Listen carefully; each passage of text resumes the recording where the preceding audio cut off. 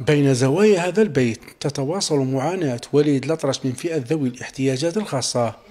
وليد الذي يعيش تحت سقف هذا البيت يتألم لحاله والدمع ينهمر من عيونه التي لا تبصر النور. دموع وليد تحكي فراق أمه منذ أكثر من أربعة سنوات لتلتحق بالرفيق الأعلى. ذوك يا ما ربي يرحمها كنت عايش معاها. وماتت عندها أربع سنين ونص. وذوك أنا أربع سنين ونص لوحدي ساكن في الباطمة. يجوني هكذا مخلوقات يعاونوا ما ما يدوموش. وأنا كن قاصر لازم المداومة ولا لا لا.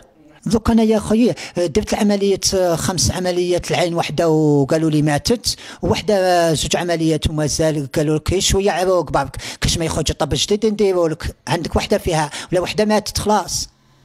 ها سيدينا دوك أنا نحوس وشني الحاجة اللي تواسيني وضابطني نحوس أنايا نحوس هكا ندير تقرير ونرسل منا ومنا وين نلقى امل نعاون نعاون روحي شوية والناس تعاوني وندير. هذه أنا حاجة اللي ضابطني بزاف عيني.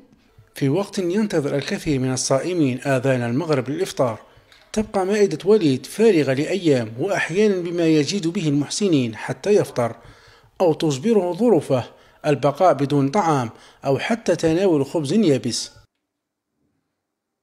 أقسم بالله هذا الخبز اللي نجيبه يعني يعطوه لي في بالجمعة نجيب نخبيه سمانه للجمعة الأخرى. وناكل. هكا عارف ما يشوفش له مصوف ياكل وله مزمجر ياكل وله صحيح ياكل وله يابس ياكل. يعقب وخلاص بين ظلمة بيت بدون أهل وآلام فقدان البصر يبقى وليد الأطرش يعيش على أمل التفاتة من سلطات.